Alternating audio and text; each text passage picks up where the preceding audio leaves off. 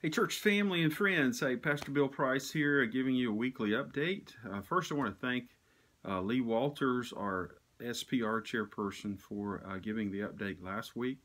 We hope to have other of our lay leaders and key leaders in our church to give updates going forward as well. So stay tuned for that. Uh, two uh, uh, meetings next week, important meetings. One is our administrative council, the other is our COVID task group. As you know, uh, weeks ago, we put together a COVID task group to assess and make decisions regarding uh, when and how to reopen our church when conditions were safe enough to do so. Uh, that group has been meeting twice monthly. And, and as you know as well, we've been making decisions basically month to month, and so we'll be looking at uh, September. Uh, so you'll be hearing about that and come, reports coming from those meetings next week. And as well as that, um, a meeting regarding our small groups and classes that desire to come back together to meet and uh, all the safety protocols surrounding that. There's a meeting about that next week as well.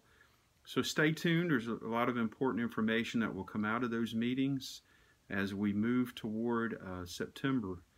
Uh, but as as you know, we have been live streaming every Sunday at 10 a.m. We're going to continue to do that and also on the radio at FM 103.3 at noon. And we've also uh, had some drive-in services. Those have been really great. Thank you for participating in them. The past one, we had a blessing of the backpacks. And continue to pray for this school year and families and students, our teachers and leaders, uh, as, as we go through these uh, still uncertain days. And we continue in the book of Acts and the sermon series. And uh, this coming Sunday, we'll be talking about Paul when he was leaving Ephesus, saying, basically saying his goodbyes to his friends there, going to Jerusalem. And he had great resolve in his heart, even though he knew he would probably never see the Ephesian uh, leaders again. And and he used an imagery or analogy that he uh, used in several of his letters when he says, I want to finish the race. Uh, he wrote his young uh, friend uh, and son in the faith, really, and as a pastor, Timothy, and those famous words now, he says, I have fought a good fight. I have kept the faith. I've finished the course. Um, so it's a great word for us as we're in the midst of running this race and his analogy of really fighting a fight and the obstacles that we face, the struggles and uncertainties that we face he kept his eyes fixed on the end of that race, the prize of Christ.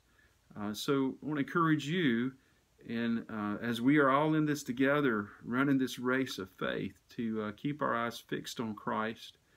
And the obstacles that we uh, uh, overcome, the obstacles that we're still enduring, even as Paul said those words, he was in the midst of his journey, uh, knowing that he was going to Jerusalem, knowing even that he was going to be in prison but also knowing that God was still overseeing and overarching all those things in a grander way than what uh, most human eyes could see.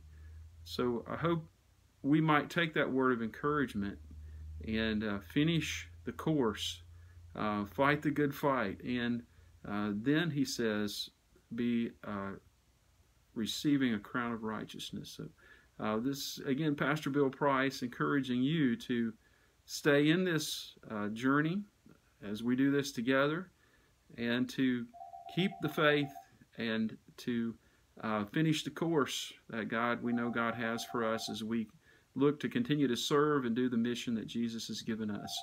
Thank you for joining us today. Again, this is Pastor Bill Price giving this uh, weekly update. Stay tuned for next week for another update.